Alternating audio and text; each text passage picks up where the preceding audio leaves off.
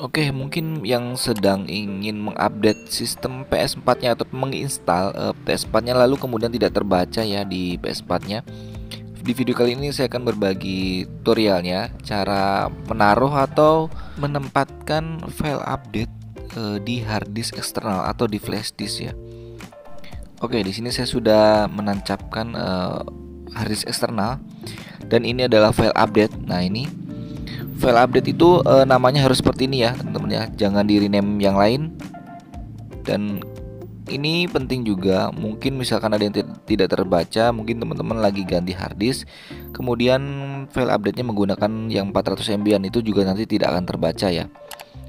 Nah contohnya di di sini ya uh, saya ada dua file update. Nah ini dua-duanya ini contoh aja ya ini ini sama-sama 900 versinya ini 400 MB. Sedangkan yang tadi seribuan MB atau 1 gigaan.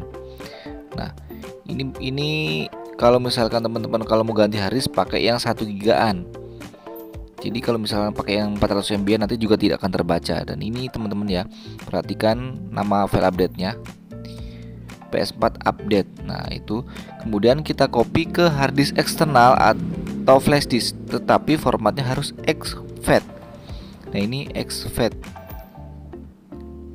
Kalau tidak di format exFAT nanti tidak akan terbaca di PS4 nya Nah kemudian di sini penting juga kita harus bikin folder namanya PS4 Hurufnya besar semua. Kemudian ketika kita buka di dalam folder PS4 itu harus ada folder update. Namanya harus besar semua seperti ini sama bikin folder ya kalau misalkan tidak ada folder. Nah, barulah kemudian file tadi kita pastekan di sini dan kalau sudah ada file update yang lama nah di sini nanti akan tertera seperti ini ya. Kita pilih copy and replace. Jadi kita ganti dengan file update yang baru. Jadi kita timpa gitu ya. Oke jadi seperti itu aja e, cara penempatan e, file update di hard disk eksternal atau flash disk. Yang penting formatnya exFAT.